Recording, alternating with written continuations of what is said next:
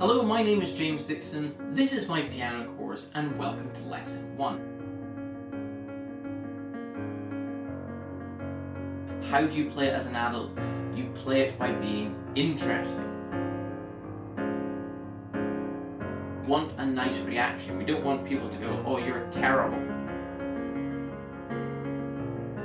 So we find out that the music goes up, and then it comes a song and then maybe creating a jazz version of it.